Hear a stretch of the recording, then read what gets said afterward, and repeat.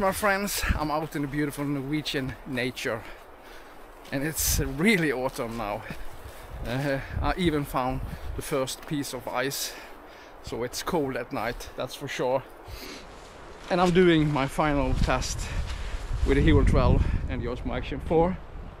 I decided to keep the Osmo Action 4 just because it's so good but I haven't decided yet what to do with the Hero 12 so the comparison today it's actually my final final video uh, deciding if I'm gonna keep it or not.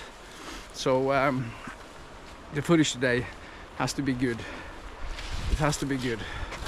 Overall the Hero 12 is is a good camera. People was really disappointed about the upgrade. It wasn't big enough and compared to the Osmo Action 4 it's not that much of an update or upgrade from the Hero 11 um, the Osmo Action 4 is overall a better camera. And I was testing the Osmo, uh, the GoPro Hero 12 mostly in normal color profile. And I never liked the normal color profile on GoPro camera but the Hero 12 has the best natural normal color profile of all um, GoPro cameras. But the log profile, which I'm testing today, I've seen a bunch of videos, people are complaining a lot about that profile. And I'm not good in grading at all, but the Osmo Action 4 has excellent uh, log profile. And it's quite easy to grade. You can just see that there's a lot of information in the flat profile on uh, on the Osmo Action 4. For some strange reason, and that's typical GoPro, the flat profile more or less look normal. It's uh, a little washed out, a little flatter than the normal. Uh, it's quite easy to grade, but still it's kind of difficult to get uh, get good and natural normal uh, quality out of the footage. So that's why I'm testing that today. And that's going to be my decision to keep it or not. Because I have the Osmo Action 4 and I'm going to keep that. It's really, really good.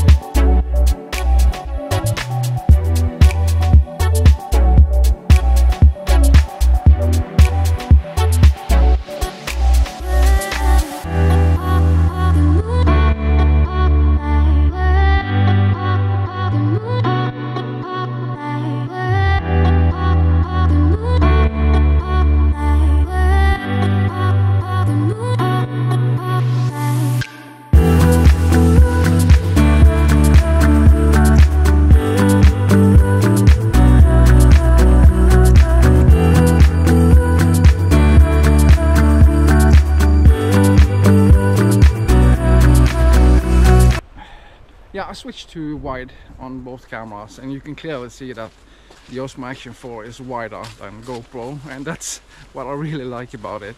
And it's not even distorted at all. Uh, some people think it's too wide but I think the wide field of view is the right field of view. Um, linear and D-warp also works good but um, I like this so what is it with GoPro and why can't they make a perfect camera? I don't think there's ever been any perfect camera out there at all. But I think that DJI has come a really long way. And that's my biggest issue with GoPro. Um, that is, they made cameras or action cameras for a really, really long time.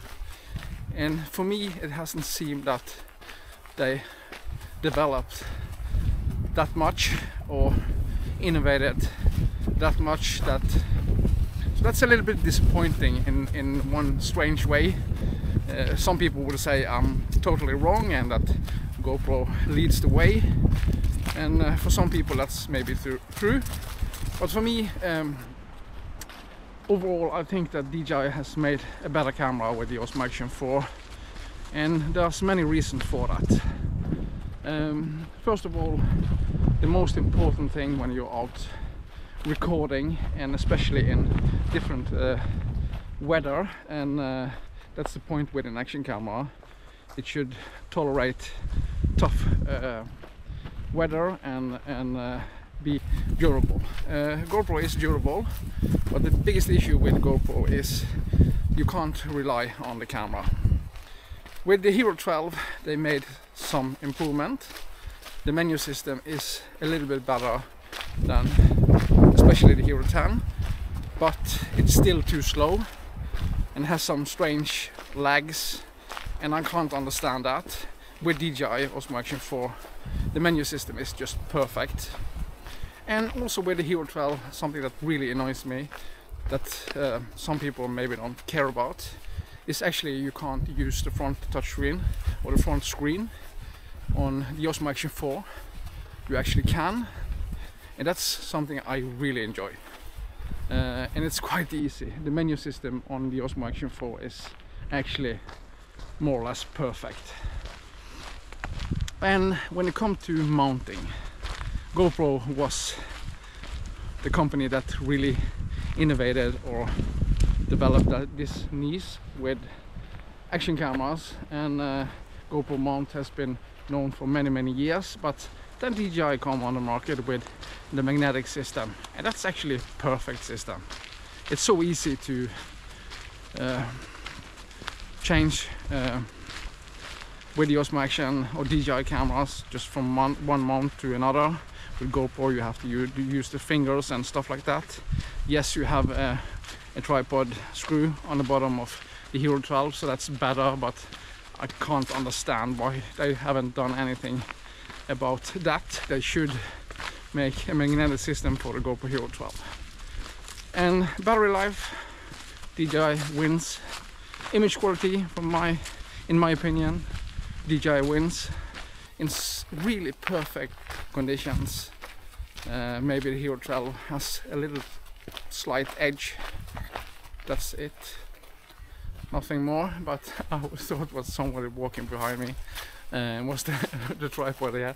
Um, yeah, so overall, it's not an easy choice. Uh, I haven't made my final decision, but I'm 90% sure I'm gonna send back the Hero 12 and uh, wait for another GoPro ca camera in the future. It's a great camera, it's a good camera, uh, but for me DJI is better. That's my opinion. So uh, if you enjoyed this short video uh, give me a thumb up and of course subscribe to my channel. And if you want to see more videos from me comment down below what you want to see. And in a couple of days DJI Pocket 2 is arriving. Uh, not in my mailbox or uh, but uh, I'm not quite sure if I'm gonna get it or not we have to see. But uh, yeah, I'll see you on the next one. Bye.